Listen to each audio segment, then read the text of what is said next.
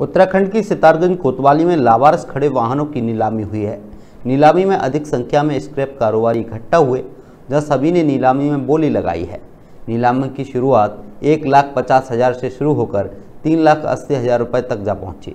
Scrap व्यापारी आकाश अंसारी ने दो कार और अठारह मोटरसाइकिल को तीन लाख अस्सी हज़ार में खरीदा है। एसएसआई विनोद फरतियाल ने बताया कि इसके अतिरिक्त पाँच वाहनों की भी अलग से नीलामी की गई है।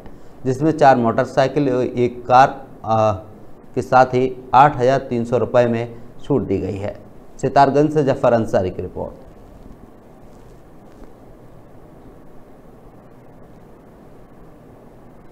लावारिस वाहन थे।